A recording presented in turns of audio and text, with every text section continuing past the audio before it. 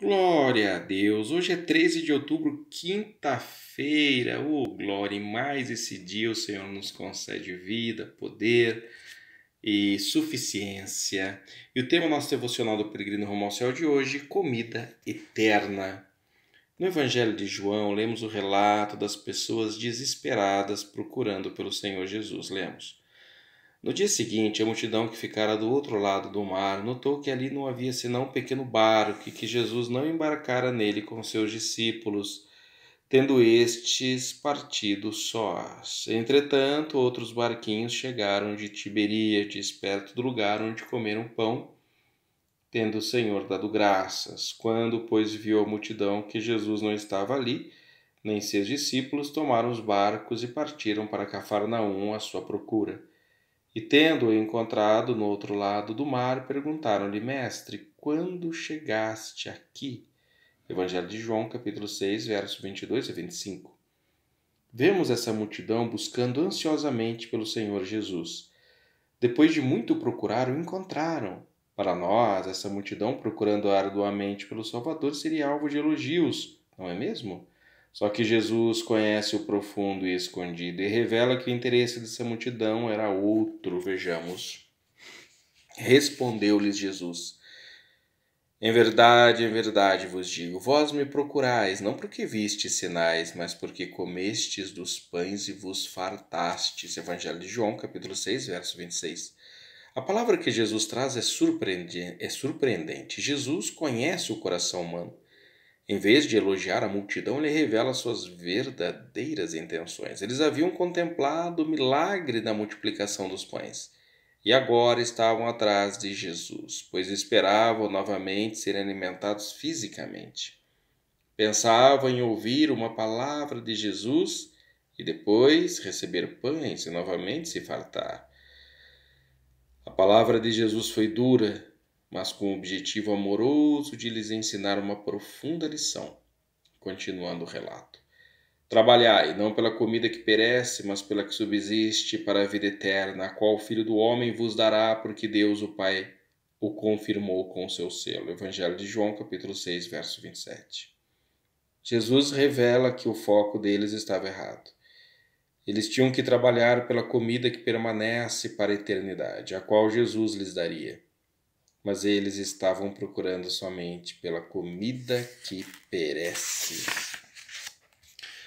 Assim, também muitos hoje estão correndo atrás de Jesus somente pela comida que perece, não estão interessados na comida que subsiste para a vida eterna.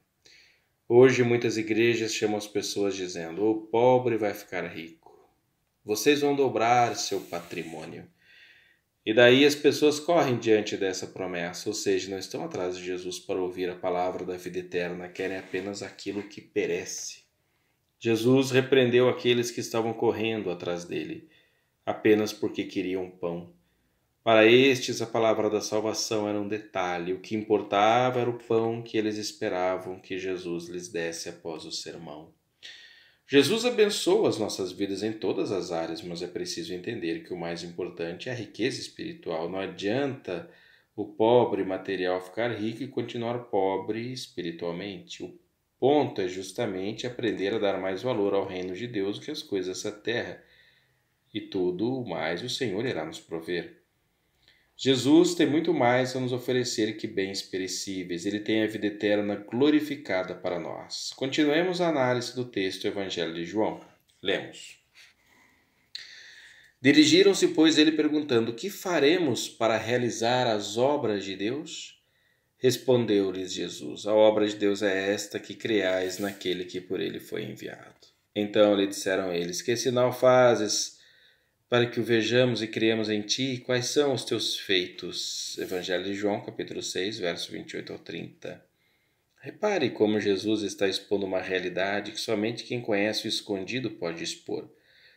Quando perguntado pelas pessoas o que seria realizar a obra de Deus, Jesus diz que a obra de Deus é crer nele.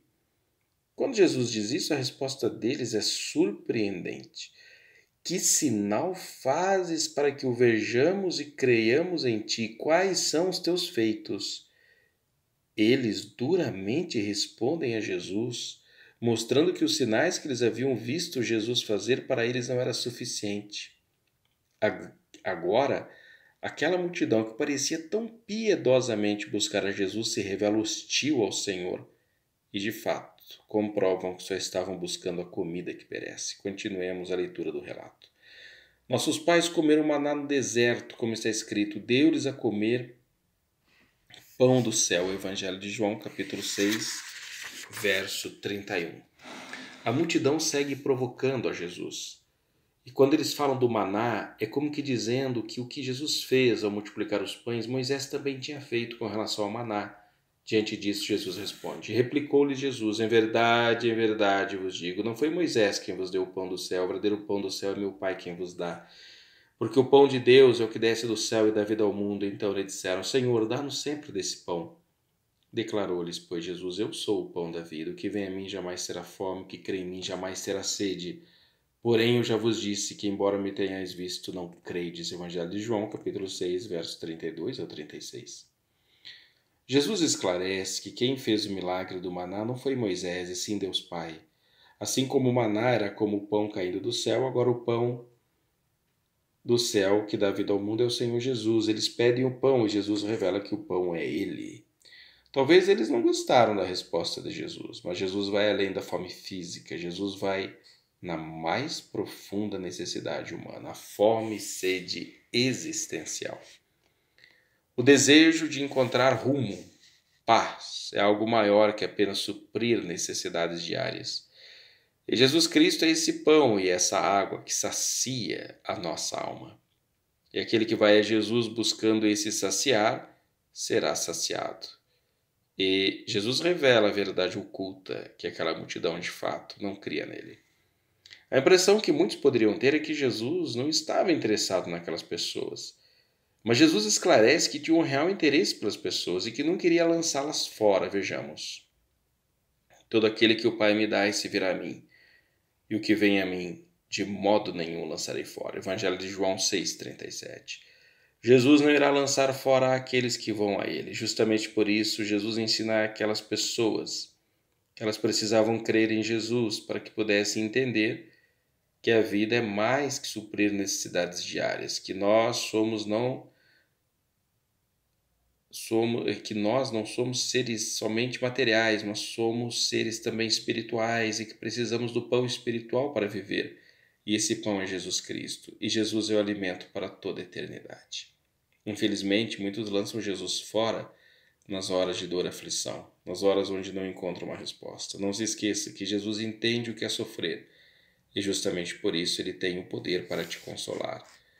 Lançar Jesus fora é ficar preso ao sofrimento. Estar com Jesus é ver o sofrimento ser subjugado pelo consolo e poder que emana do Espírito Santo para nós. Não lance Jesus fora, pois toda lágrima seja enxugada, será enxugada. O fim não é o sofrimento, o fim é a glorificação. Vamos ao final do texto. Porque eu desci do céu não para fazer a minha própria vontade, sim a vontade daquele que me enviou. E a vontade de quem me enviou é esta: que nenhum eu perca de todos que me deu, pelo contrário, eu ressuscitarei no último dia. De fato, a vontade de meu Pai é que todo homem que vira o Filho nele crê tenha vida eterna e eu ressuscitarei no último dia. Evangelho de João, capítulo 6, versos 38 ao 40. Assim, terminamos essa reflexão. Não seja como aquela multidão que corria atrás de Jesus só pela comida perecível mas não acreditava em Jesus como enviado de Deus. Não lance Jesus fora. Jesus sabe de todas as nossas necessidades e sempre nessa terra irá nos prover o necessário para a nossa vida. Siga colocando o reino de Deus em primeiro lugar, ou seja, não abra mão da tua vida com Jesus e você sempre será abençoado. Ao errar, não se conforme com o erro, mas peça perdão e livramento e viva para a vida pois com Jesus vivemos para a vida eterna. Sem Ele, as pessoas somente vivem para a pior morte que existe, a morte sem Deus, que levará à danação da alma. Não coloque o reino de Deus em último lugar em sua vida, mas sim em primeiro lugar, pois a eternidade pode estar somente distante. Há algumas horas. Oremos, Deus Pai querido e amado, em nome do Senhor e Salvador Jesus Cristo e ensinado pelo Espírito Santo eu oro. Senhor Jesus, eu creio em Ti. Sem ti eu poderia ter tudo e não teria real paz. Tudo seria apenas gastar tempo com coisas que só poderiam me dar um momento. Mas contigo, posso não ter tudo, mas tenho o maior tesouro, a vida eterna glorificada. Contigo posso dormir e acordar, sabendo que minha vida gira em torno de algo infinitamente maior que o momento. Obrigado, Senhor Jesus, por nunca ter me lançado fora. Obrigado pelo teu amor e perdão. Continue a me ensinar seus preciosos caminhos de vida eterna. Em nome do Senhor e Salvador Jesus Cristo, eu orei.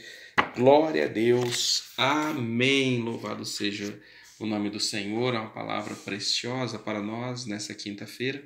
Você que acompanhou até o fim, isso mostra que você realmente quer o alimento espiritual. Nós precisamos do alimento físico, mas a nossa vida com Jesus não se limita a isto. Colocar o reino de Deus em primeiro lugar, isso sim, e tudo não será acrescentado. Amém? Aquela multidão estava atrás de Jesus, mas só porque queria o pão que perece, queria ver se Jesus ia multiplicar pães novamente.